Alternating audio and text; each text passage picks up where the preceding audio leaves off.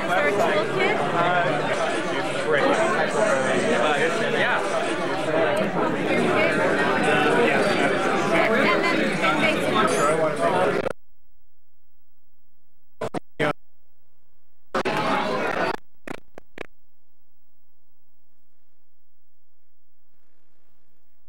Those times contains more information than a 17th century Englishman was exposed to. this manual when he falls to the next photo. Um, something that's you know easy, easy to shove out there and easy to swallow, but I think it.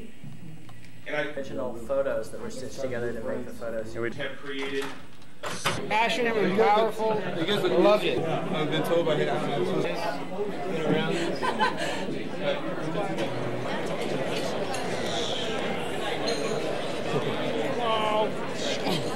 Been.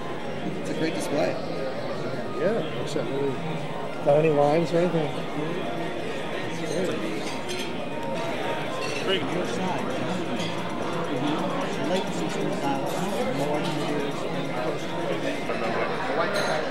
So you can put video into worlds uh, worlds now, or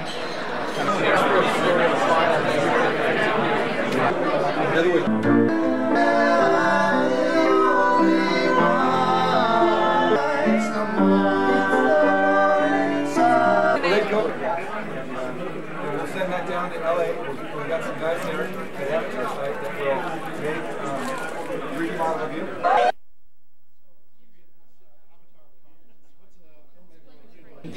literally. And so, how is the use of cyberspace? hi John.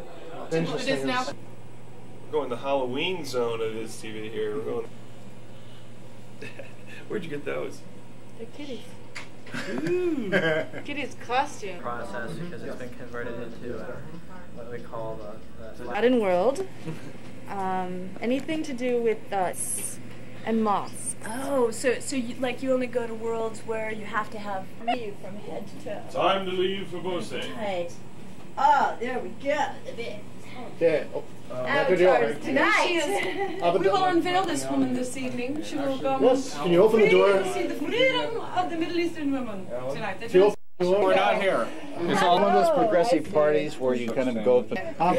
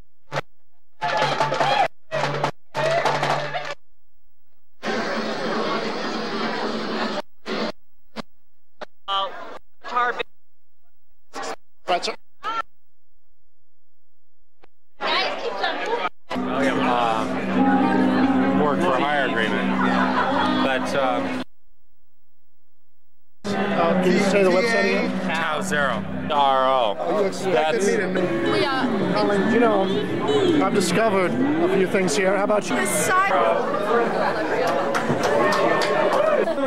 Large number of submissions that we got. Uh, well, probably a number of people have seen this one before. We have uh, four that we're going to show tonight. Uh, we got here. I mean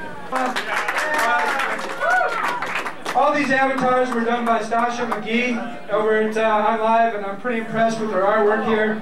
Uh, all these, by the way, all these we've very low polygon count, excellent use of, of just the just what. It's getting angry here. This is what it's gonna. Angry alien. It's like, this is the alien model. One of the more original ones. Carl? Like this. Okay.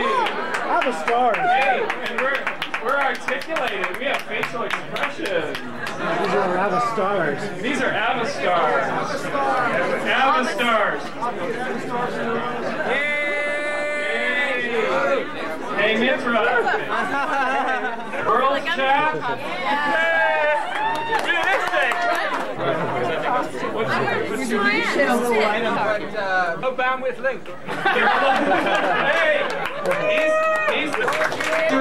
Uh, it was uh, small file size. Uh, one of the things that we looked at for all of them, we didn't want to, any of the categories, Expressions. you got to hear the audio with this. This is uh, up on Protozoa's webpage. Um, you know what, I don't think we know the individual author over there. I met him today, too. Uh, this came out of Construct, I guess, somebody was telling me. Okay, Cons- Who- Woozy, what's up? We're gonna, do you, do, do we have a, a second operator? This one up on your own monitor. Oh, here we go, that's good. Was it this one, Kurt? Where is it? No, uh, smart attitude kind of, yeah, smart is the word here. can't fit these balloons in one elevator. There's no way you can fit these balloons in one elevator. You're going to have to go separately. You're going to Special effects. There's static electricity avatar, Stephanie Sutton. So you guys remember from from the Muppet movie when Gonzo bought all Elvis?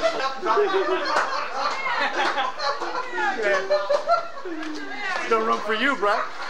I'm getting in. Come on, you guys!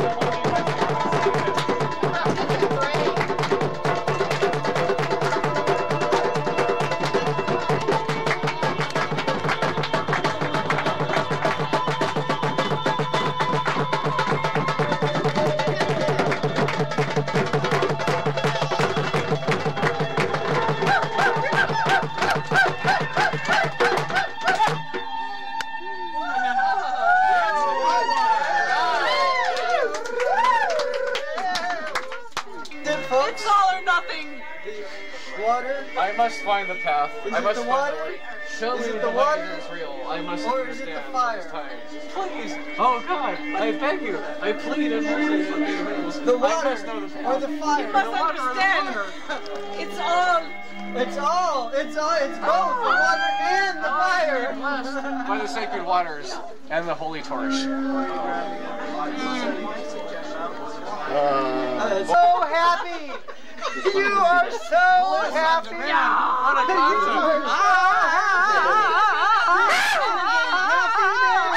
It's a blue M&M! It's a blue M&M! Implant.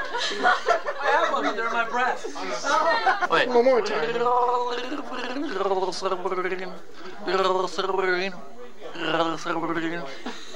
That's under.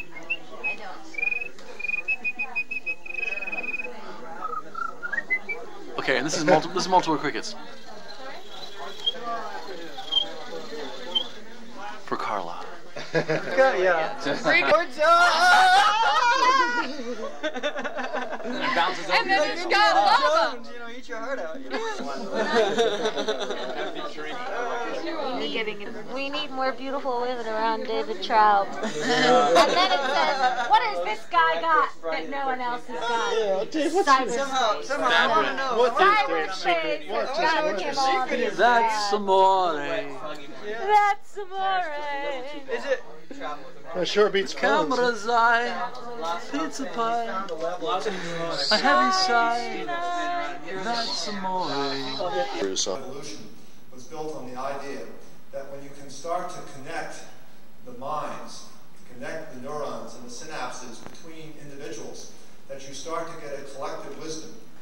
Some of us remember it as the beehive principle or swarm theory, but it's really more than that because what we're talking about is the ability to start to look at a metaphor that leverages not individual empowerment, but leverages the socializing experience of minds being able to join together in ways that are very hard for us to predict.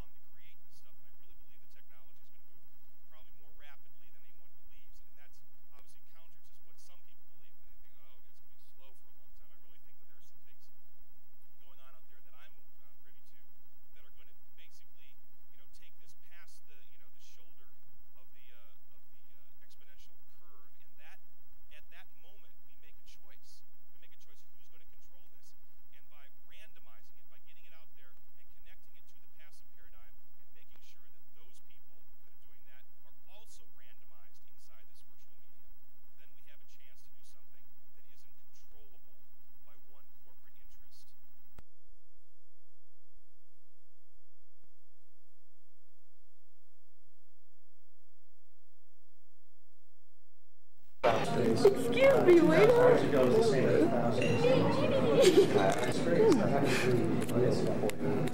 there seemed Excuse me, I'd like two Dude, there you go. That didn't work out. Oh my god, he's dead! Oh, oh, oh, oh God.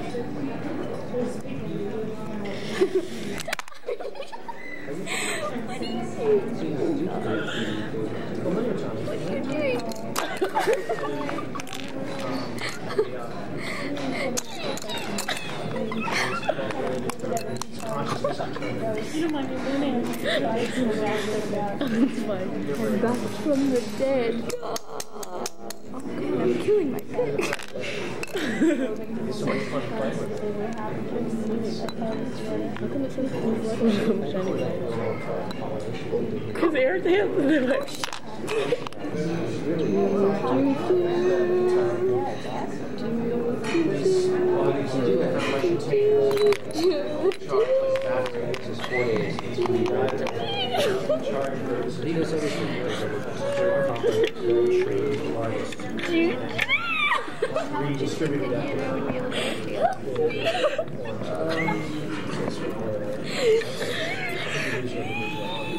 would say more of this. Oh god.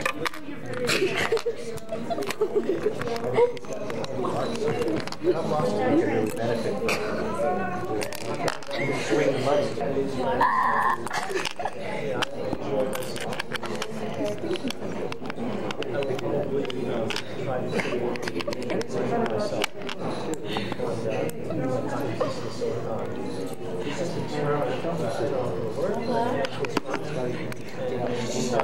Go back to the great seats to meet people and get around.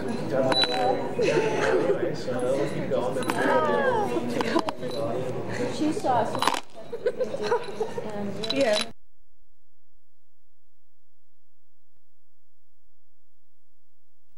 Right.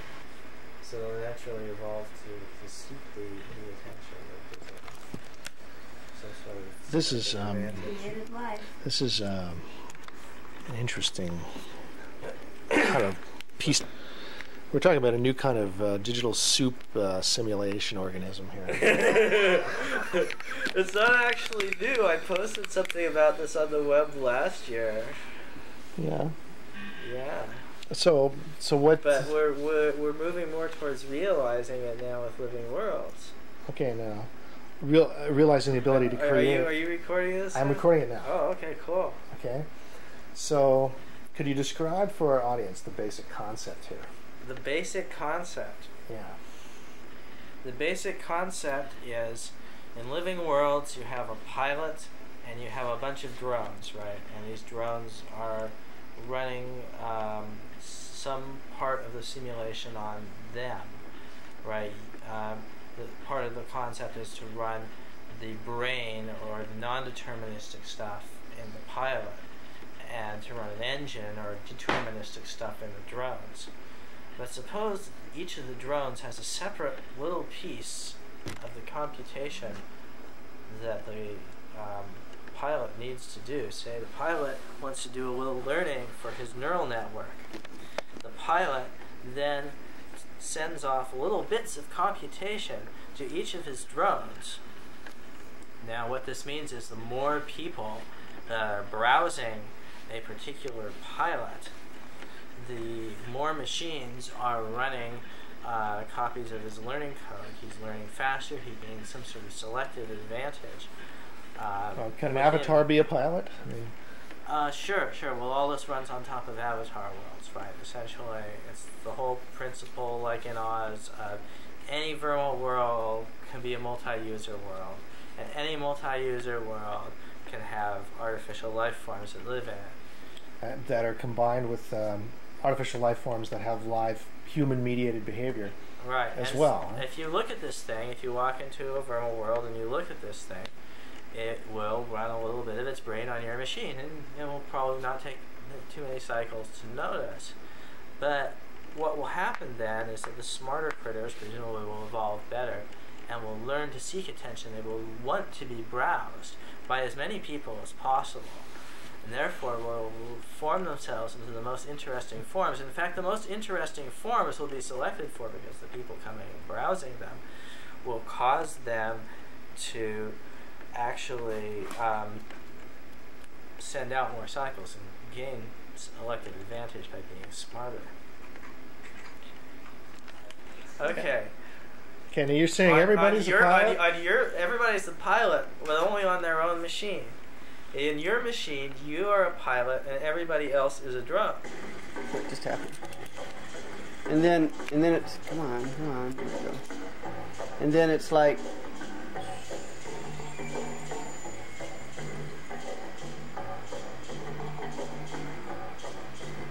Except the, your normal browser wouldn't go out of focus. All those Yeah. little Yeah. bits would be in focus. Oh, here, let's, here, let's zoom in. Oh, wow. There you go.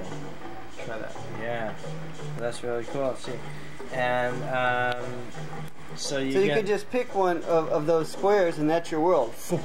So it's like as a as a portable teleporter, for instance. Yeah, your portable tele. Maybe you could put it in the squares that your your favorite worlds, like bookmarks. I guess worlds will be like bookmarks. Sure. Okay. Okay. Each of those little ones would be. Could start as a, s- a little tile, a little image tile. So be, each of those would be an image. Of course. Zoom in. You zoom into the image and you get really close, like with the proximity sensor.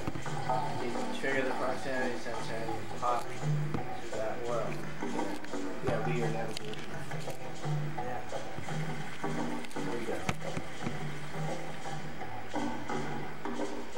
Keep something. It says. Place the lamp. It says replace the lamp. Have you used it that much? No, no, it's an erroneous message. It's strange. It tells you things. Everything's perfect there. So the idea is that even if I mean, it may this may be. Having that happen, right? It just makes it into. Yeah, just just think. Okay, wait, wait, wait. We got to do the whole. Yeah, so what do we have here? Okay, so it's Bruce Damer. Early days of his avatar hood. Yes, it be, even before it's converted to a flash pixel image. This is in Photoshop here.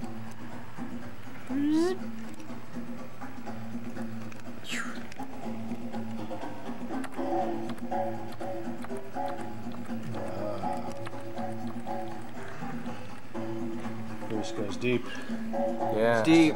I would like to get these eyeballs to be like fully resolvable with this resolution. which would be This man is mad. excellent. Listen to this. Why stop there? Right. Why stop? Why stop there? Why stop? Well, something was someone was talking about zooming into bacteria, zooming into the bacteria. uh, Yeah, let's see what kind of bacteria's got in his eye here. yeah, well, uh, um, I think I want to edit this out. You can see it, all the different lighting we had on here, huh? Oh, that's the light zone. That might be bacteria there. Well, this light here, these it. these two Hotel- lights here are the two are the two lights that we're getting. The flash, the reflection, shown. right? Yeah, and this is from the camera flash, so it's obvious that these these contributed. Uh, these were very critical for the for the shadow These two detail. here. How come it has two? You see the you see we we did we did Two- two good. Look, look look at the lighting on this face. I mean, this is like You did good. It's, this is there's not a lot of perfectly, shadows. perfectly reasonable. The ears are a little That's what off. you were looking for. You were looking for the light Yeah. and shadows and stuff. That was your focus. This is our first feedback Right, test. That's right. I was trying to make those make those all even. And that that worked really well. and, that, and we just happened to catch one with a decent depth of field. So, at any rate, uh, let's see. We're gonna close that one. What Oh, mo- yes, Which one is this uh, one? Cancel. Cancel closing or that. save? No, we're gonna 64. save this on the disk. This is number 64. Yeah, we're gonna save it on, on this hard disk. Right.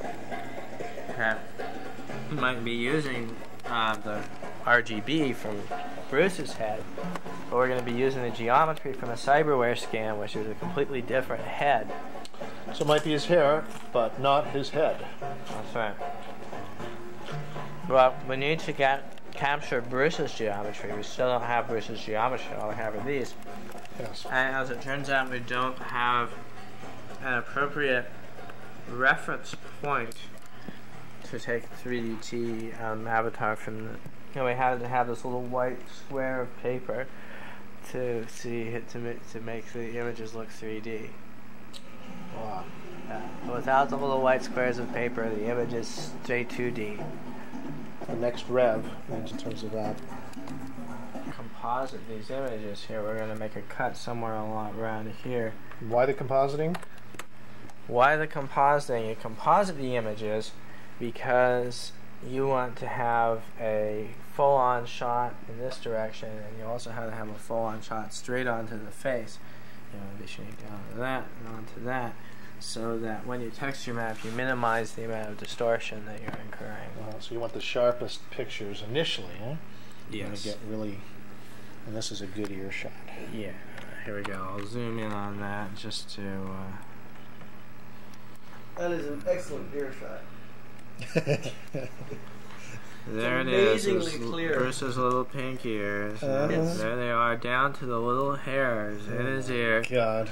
Yeah, It's people are going to be examining Bruce and seeing features of his face he didn't even know he, Kinda he glad- had. I'm kind of glad. I, Don't you wish you were the first one out? I don't so. First one out the gate.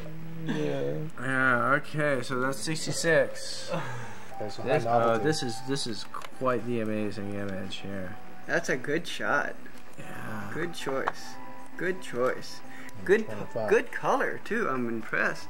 This isn't even with a um, super high res screen.